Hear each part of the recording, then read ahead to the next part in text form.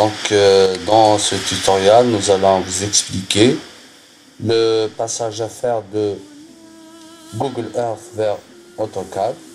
Donc j'ouvre le fichier en KMZ étude hydraulique d'un volume de 84 kg. Donc on voit que c'est toujours très minime. Je mets ouvrir.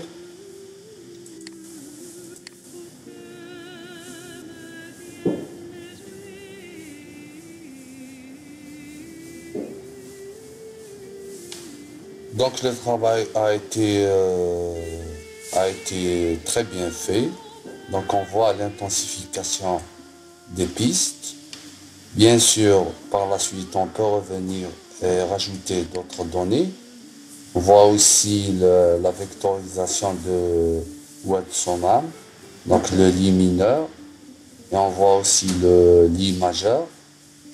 Donc c'est très bien fait. Donc, pour permettre le passage de Google Earth vers AutoCAD, donc on utilise le logiciel Global Maker. Donc, on ouvre le même, donc euh, donc on ouvre le même fichier.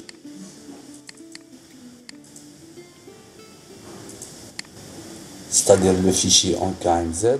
Donc, on l'ouvre euh, sur euh, ce logiciel qui a la plateforme euh, du système d'information géographique. La première chose qu'il faudrait faire, donc, c'est de changer le système de projection. Donc, on voit ici, donc, c'est un système géographique.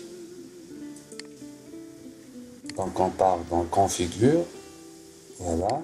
Et on choisit le système utilisé en Algérie. Donc, c'est WGS 84 31 UTM 31 Nord. C'est suivant donc la région. Donc pour la région de Béjaïa, c'est le 31 Nord. Donc on met appliquer, on met OK.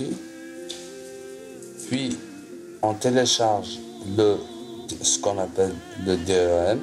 Donc c'est euh, euh, Digital Elevation modèle ou bien le modèle euh, du terrain suivant. Donc euh, on a ici une très faible résolution. Dans le même logiciel, donc on peut générer les courbes de niveau. Euh, donc voilà les courbes de niveau. Donc on choisit chaque 2 mètres.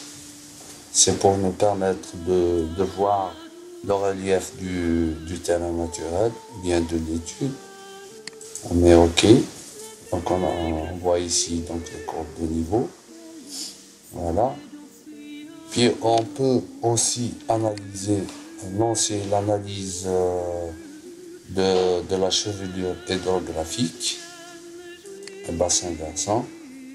Donc on met OK. Ce sont des informations que, qui sont très utiles. Voilà.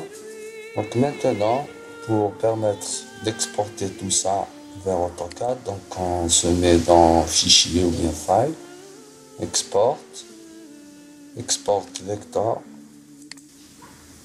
et on choisit DWG et on met OK.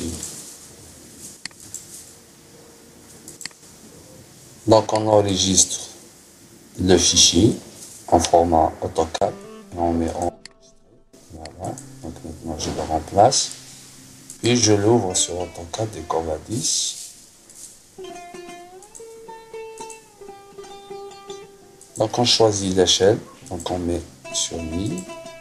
On met OK. Et on met zoom étendu.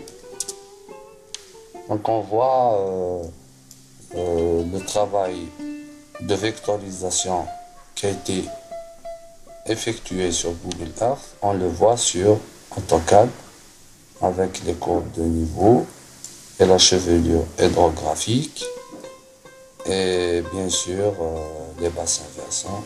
C'est une délimitation, c'est une délimitation euh, approximative, voilà, puisque la résolution du terrain n'est pas, pas, n'est pas très bonne. Voilà, et dans les prochains, dans les prochaines vidéos, nous allons vous expliquer euh, les étapes à faire pour euh, tracer justement le réseau euh, d'alimentation potable. Et merci.